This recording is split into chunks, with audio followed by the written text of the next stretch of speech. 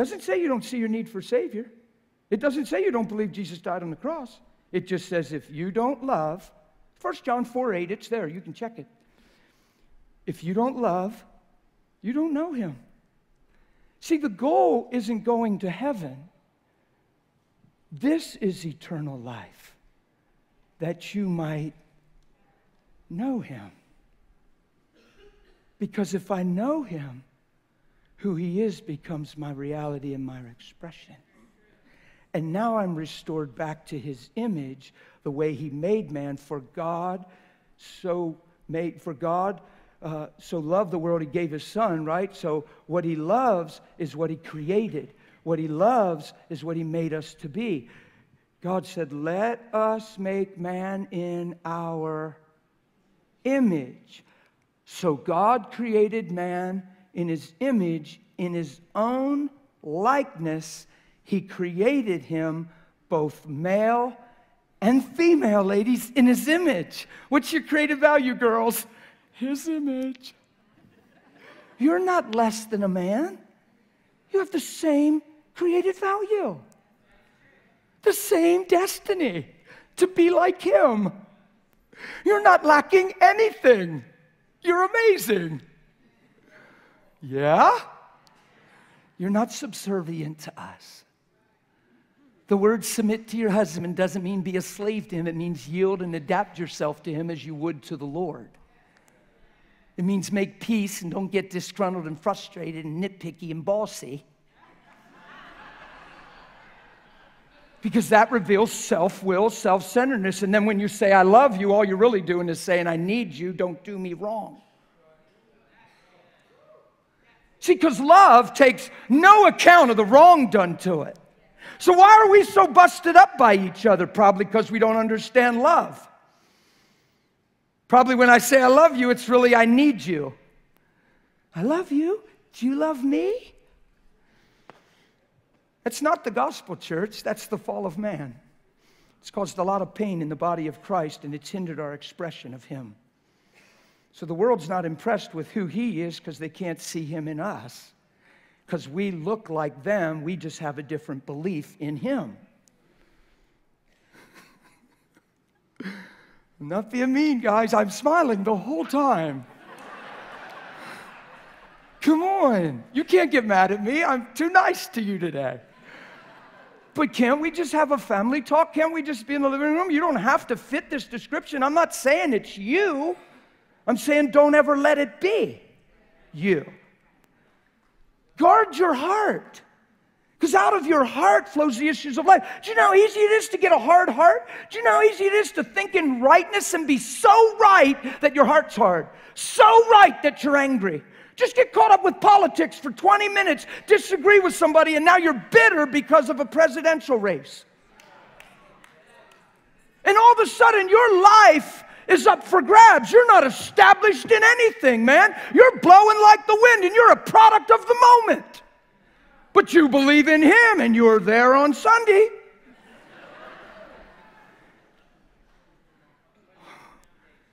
Come on, you can handle this. This isn't hard. This is life giving.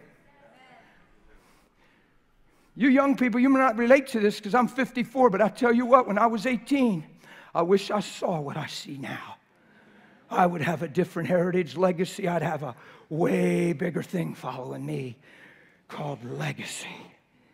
I wouldn't have spent time on nothing. I wouldn't have spent time being right and frustrated and mad at my wife and hurting her for 13 years because she wasn't what I thought she'd be, never considering what I was,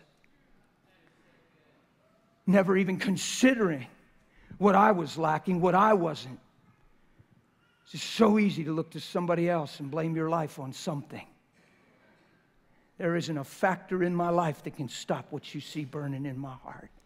My own wife can't break my heart. I didn't wake up for her to love me, I woke up to love. I didn't wake up to need her. I woke up to be like Jesus in her life. And I don't care how tried her day is, it'll bring the best out in me. Yay. So we're just going to have an okay day and ain't nothing nobody can do about it. You say, Brother, I don't believe you can live that way. I understand unbelief's a problem in the body of Christ. It's a problem because when the rubber meets the road and this thing boils down to the end, you're going to have two groups of folks people that believed the gospel and people that didn't. That's all you're going to have. So you can yell but yourself all the way to the end. And you can make excuses to remain the same, and you can point fingers any way you want. But what did you do with the Jesus you heard?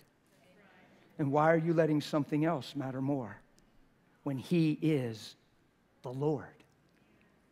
The Lord means to govern over, supreme factor, ruler. And you're going to say, Well, brother, you don't know what I'm going through. I'd be in a different place if it wasn't for this, this, and this. Man, I got good news for you. This, this, and this isn't the Lord. Why is it dictating your life? It's not the potter. So, somewhere along the line, you got the misunderstood idea that the gospel's all about serving you instead of transforming you. this isn't too harsh, is it? You're so quiet. Is it just because you're hearing and going, Man, I thought I was just coming to a service. You are.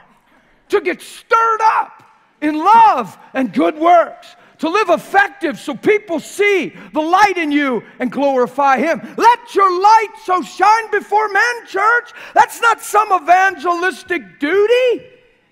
That's the joy of walking in love. Love is evangelistic. You're not even trying to impress anybody, you're absolutely impressed with the truth and you understand why you're on the planet. Oh my goodness. And the questions are all answered through him because he's the way, not a good idea. Oh, I'm preaching so good.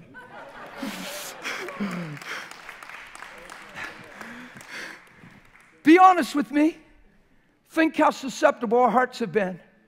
I've learned this. I, I, haven't been around forever, but I've been around long enough to learn this. Being right doesn't make it right. Sometimes you're so fixed on being right, it produces everything wrong. See, God didn't judge you and me in rightness.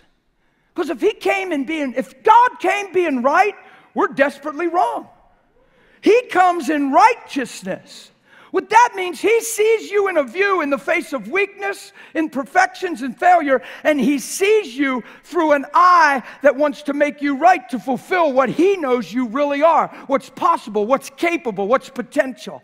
He judges us through his son in righteousness. There's a difference. You being wrong, he stands you in front of him and makes you right because he has a higher vision than what you've produced. And he knows more about who you are than you've ever known because he made you from the beginning. Yeah? So, so we get this idea that the cross, the cross, is only here to expose our sin and our need for a Savior. No, the whole design of the cross is to remove your sin and reveal you have a greater value and destiny than what you've been living. The cross says, I love you. You're more than you think. I've known you from the beginning. I'm honored to shed my blood for you because there's more to your life than you've understood. But I know who you are. Come to me. I'll give you light. Yeah?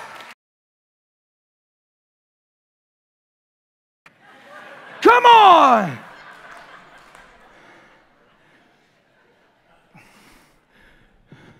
You tell me who pays a high price for nothing. We've been always taught that the cross and he had to die because we're sin, we're sin, we're sin, we sinned, we're sinners. Yes, he had to die because we sinned. He didn't die because we're sinners, he died because something was lost your created value, your identity in Him, your purpose, your destiny, everything you're created to be was lost through sin. So God said, I'll tell you what, we'll cause Jesus, who's perfect and pure, to fulfill what man failed, and we'll make Him sin on the cross so people that put their faith in Him have access to me and can be free from sin and step in to what they're created to be.